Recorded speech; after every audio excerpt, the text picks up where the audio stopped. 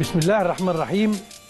أهلا بكم أعزائي مشاهدي قناة الأهلي أينما كنتم في برنامجكم ملك كتابة. من المهم إحنا كنا متوقعين إيه؟ ولكن الأهم هو إحنا مستنيين إيه؟ إبراهيم. أهلا بك يا باشمهندس أهلا بك أعزائي المشاهدين. وموعد يتجدد معكم في لقاء الاثنين من ملك وكتابه الحلقة 819 جاية في أوضاع للكره المصرية مش ولا بد. عشان كده المهندس عدي بيتساءل وكنا مستنيين إيه بالظبط؟ يعني الأول هو إحنا كنا متوقعين نجاحات يعني؟ امم يعني بأمارة إيه؟ إحنا إحنا هنا حتى ونحن نمارس سياساتنا وإخفاقاتنا في سياسات بتاعه إدارة كرة القدم وخصوصا على مستوى الناشئين وضعف المسابقات.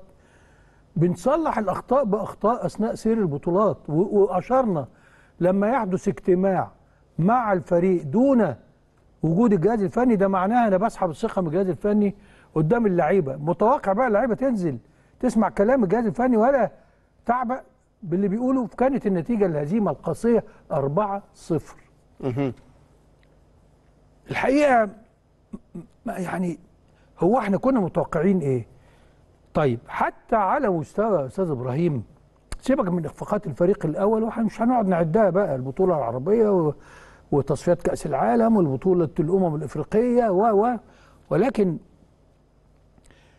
على مستوى الأندية اللي كانت هي بتقدم بعض النماذج الناجحة من خلال الأندية. عملنا إيه في الأندية المصرية؟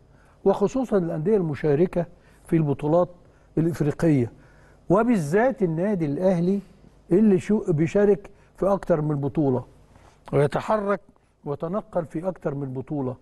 ويأتي الاغتيال على يد اتحاد الكرة ولجنة المسابقات مع احترامي لأي حد بقى. ها؟ ما ينفعش إن كل هذا هذه اللامبالاة. الزمالك مرهق ويعاني وعنده ظروفه والاتحاد آه، الجدول لازم يحترم. ماشي يا سيدي. أصل يعني الجدول ده طول عمرك بتحترمه يعني في الظروف الطبيعية.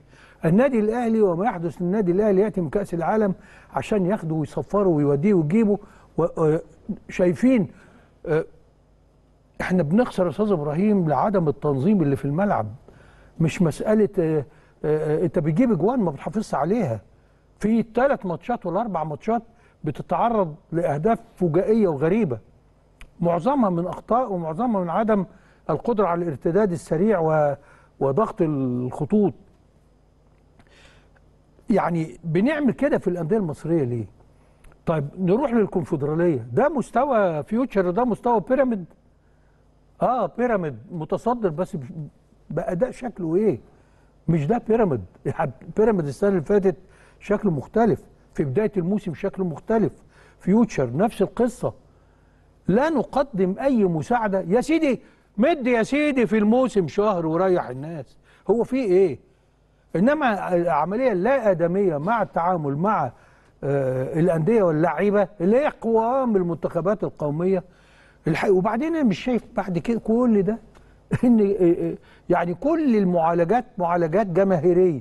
يعني أنت بتعالج إخفاق المنتخب تعادل ثم هزيمة 1-0 من نيجيريا عايز تلحق السنغال تعمل الكارثة الكبرى.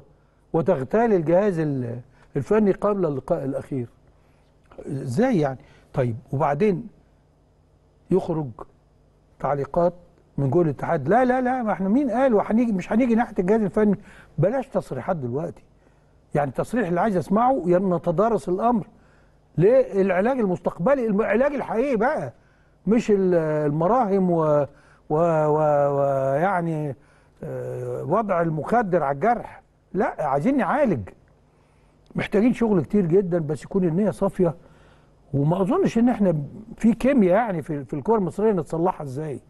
لكن بالطريقة دي والله ما في فايدة لأن كل الأندية كل الاتحادات حوالينا بتاخد بالأسباب وبتحترم آه، عناصر قوتها وبتشتغل عليها وعاملة علاقات إقليمية ودولية محترمة إلا إحنا. كل العلاقات بتاعتنا لخدمة شخصيات وليس لخدمة الكرة المصرية.